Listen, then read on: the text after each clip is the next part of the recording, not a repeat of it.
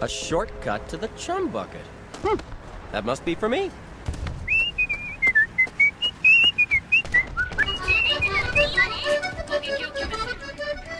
This isn't the chum.